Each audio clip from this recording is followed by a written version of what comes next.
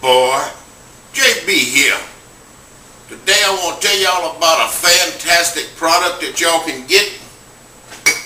Y'all go to uh, Reverend, Reverend Marvin's or www.revmarvin.com, Rev Marvin, and uh, y'all can get this fantastic uh, barbecue sauce, gourmet barbecue sauce that he makes. And uh, JB always likes to taste things before I put it on anything. Let's see. Boy, that's real good. That's the regular one. And this is the bowl. Yep. It's a mustard based sauce, but it got plenty of mmm. That one real good too, boy. They both good. And you can put it on chicken, pork chops, beef, ribs, and of course, any barbecue you got.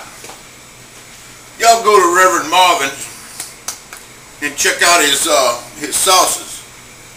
I also want to tell y'all that for every $10 y'all spend in Reverend Marvin's site, uh, he donates $1 to Nothing But Nets. And Nothing But Nets is a charity uh, organization or a volunteer organization that uh, they provide nets, bedding nets, and I got one right here. This is one of those nets.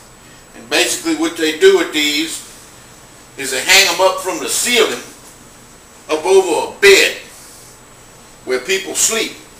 And these nets are, uh, it's hung up on a couple hooks or clips or whatever they got and it drapes down over the bed and you climb in it and it's treated with a mosquito repellent uh, that uh, warns mosquitoes away.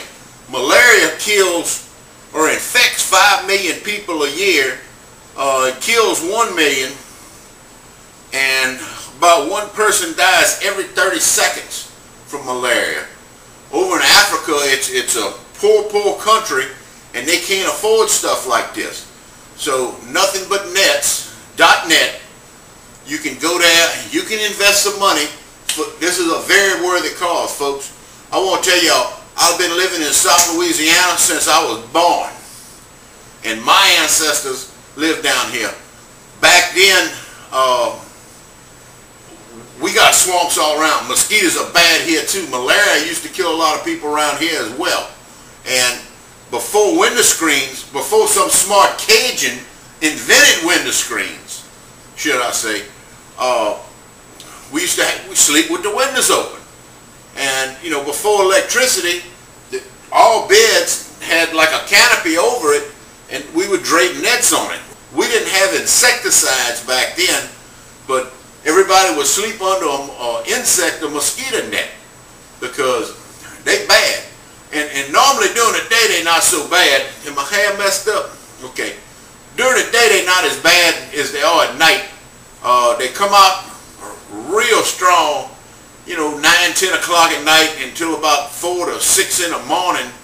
Uh, but they carry you off. I mean, you walk outside, they smell uh, what you exhaust air. Uh, what is that, carbon monoxide or carbon dioxide?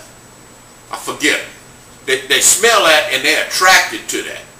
And uh, they bad news. So this is a very worthy cause.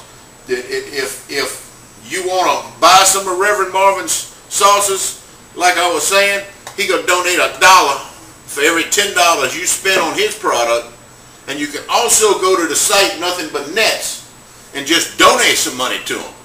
$10 or buy one net. And what I understand, reading up at the site, there's a lot of information over there about this. Uh, if they have more than one net in, in say a community, the insecticide tends to repel the mosquitoes away. So if, if they got a net in a room, other people that can't afford the net, let's say they got a family of 20 or 10, and they can only sleep five people under a net, lot of just open it up all the way and It'd be tight, sleep five people. It'd be like hot dogs in a bed. I mean, it'd be like your fingers sleeping like that. And like that to try to get four or eight people up under one net. It'd be tight. It'd be small children. but, uh, so the other people in the room would be benefited by the insecticide's repellent qualities within that room, providing that might be the only room in the house. One room house, dirt floor.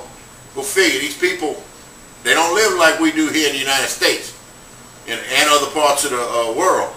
We're talking about Africa, deepest, darkest jungles, the Congo and all that kind of stuff. So I want y'all to think about donating to this worthy cause. And uh, I just want to say hi to my friends over there at Barbecue Central. Hi, boy. Uh, okay, I hope y'all's paying attention.